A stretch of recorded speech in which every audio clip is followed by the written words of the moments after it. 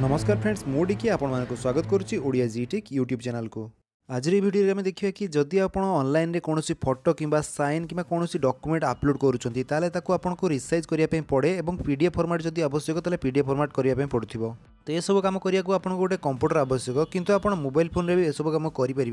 तो यही भिडियो आपने देखा पाइबे कि केमी आपने फटो सैन कि जेकोसी डकुमेंट को आज क्रप करके रिसाइज करके पीडीएफ रे कनभर्ट करेंगे आउ चाहिए आप केमी जॉइंट करके गोटे पीडीएफ फर्माट्रे सेव भी करेंगे तो चलो स्टार्ट करेंगे आज भिडियो एमती भिडियो अपडेट पाए सब्सक्राइब करूँ ओडिया जी टेक् चैनल को बेल आइकन दबाई दिंतु तो यही भिडियो में आपको दुईटा प्रोसेस कहि विथ आप और विदाउट आप्रे आप केमी रिसाइज करके पीडीएफ कनभर्ट करेंगे तो प्रथम चलते देखिए विदाउट आप्रे आप फ़ोन को यूज़ करके केमी रिसाइज करके पीडीएफ रे कनभर्ट करेंगे ପ୍ରଥମେ ଆପଣଙ୍କ କ୍ୟାମେରାରେ ଯେଉଁ ଡକୁମେଣ୍ଟକୁ ଆପଣ ଏଡ଼ିଟ୍ କିମ୍ବା ପି ଡି ଏଫ୍ କନଭର୍ଟ କରିବା ପାଇଁ ଚାହୁଁଛନ୍ତି ତାକୁ କ୍ୟାପ୍ଚର କରିନିଅନ୍ତୁ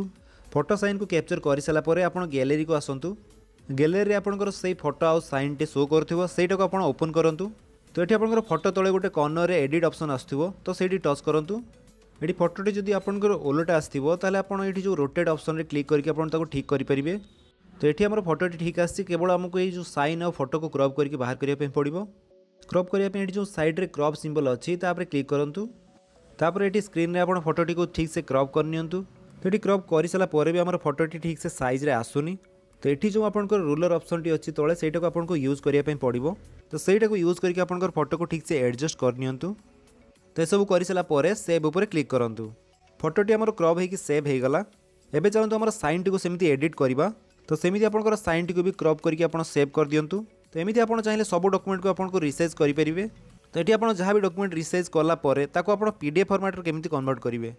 तो ये आप जो डकुमेंट पीडीएफ फर्माट्रे कनभर्ट करने चाहूँ से डकुमेंट को ओपन करूँ तापर ये जो ऊपर जो थ्री डट अच्छी तापर क्लिक करूँ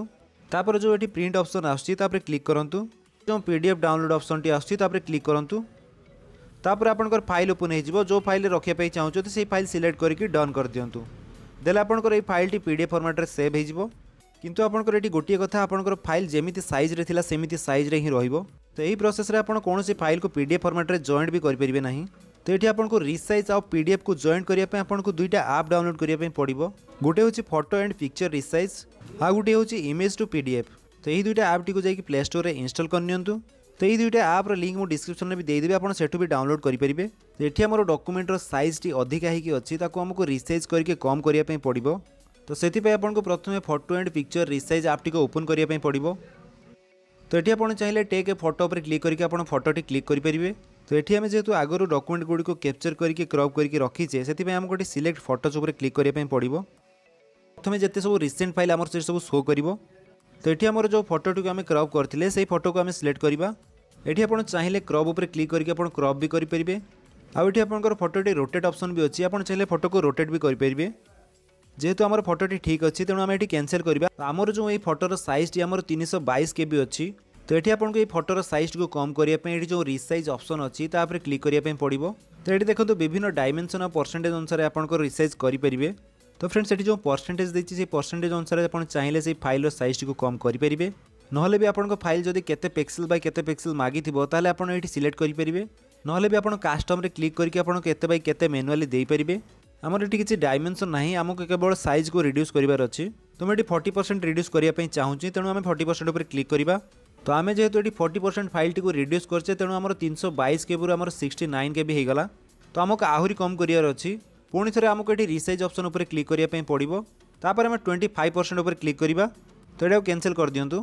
এটি দেখুন আমার ফাইলর সাইজটি বতিশ কেবি হয়ে যাই তো এমিতি আপনার ডকুমেন্টর সাইজ যা বি আপনার মাগিথিব সেমিতি আপনার রিসাইজ করে তো সেমিতি আমার সাইনকু বি রিসাইজ করনবা সাইনটি বি আমার শহে পঞ্চাশি কেবি অছি তো সাইনটি বি আমার সেমিতি যেতিক সাইজ দরকার আমি সেমিতি রিসাইজ করিকি সেভ করদেবা এটি যদি আপনার অরিজিনাল ফাইলকে ডিলিট করিকি রিপ্লেস করা চাহুমান এই সাইজর ফটোকে তাহলে আপনার এটি যে রিপ্লেস অরিজিনাল ফটো লেখা হয়েছে তাপরে ক্লিক করিকি রিপ্লেস করে তো এমিতি আপনার যে ডকুমেন্টর সাইজ যেমি মাগিথিব আপনার এমিতি রিসাইজ করে তো আমি যে সব ফাইলকে আমি রিসাইজ কলে সেসব আমার গ্যালেরি শো করছি तो ये चलो देखिए आम कौन डकुमेंट कि कौन पासबुक्र ट्रांजाक्शन पेज हो सबको जब आमको जॉइंट कर पीडीएफ फर्माट्रे कनभर्ट करें पड़े तो केमी करवा तो आमको से आप ओपन करने पड़ो इमेज टू पीडीएफ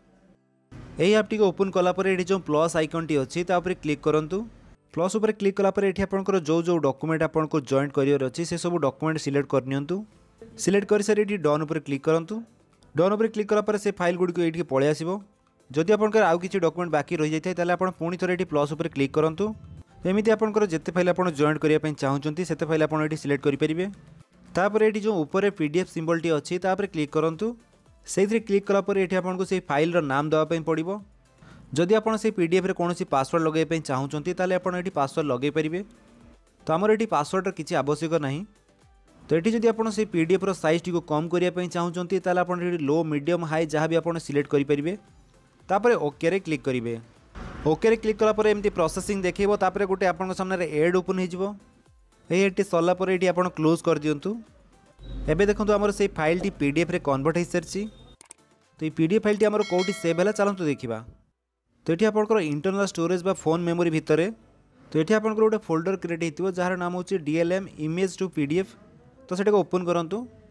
ତ ଏଠି ଦେଖନ୍ତୁ ଆମେ ଯେଉଁ ଫାଇଲ୍ଟି ସେଭ୍ କରିଥିଲେ ସେଟା ପି ଡି ଏଫ୍ ଫର୍ମାଟ୍ରେ ଏଠି ସେଭ୍ ହୋଇସାରିଛି তো এই আপনার গোটে ভিডিওকে আপনার কেমি ফটোকে ক্রপ করি রিসাইজ করি তাকে পিডিএফ ফর্মাটে সেভ করে পেয়ে যদি আপনার জাঁয়া চাহুমান কি আপনার পিসি বা কম্পুটরের কেমি রিসাইজ করি তাকে পিডিএফ কনভর্ট করা যায় তাহলে মতো কমেন্ট করতে মু ভিডিও বনাইয়া চেষ্টা করবি যদি আপনার ভিডিওটি ভালো লাগিছে তো ভিডিওকে লাইক করে দিন আপনার সাংমান ভিতরে সেয়ার করতু আর যদি আপনার আমার চ্যানেল নয় তো চ্যানেলকে সবসক্রাইব করে বেল আইকন দবাই দিন তাকে যেতবে এমনি ভিডিও আপলোড করবে আপনার দেখিপারে থ্যাংক ইউ ফর ওয়াচিং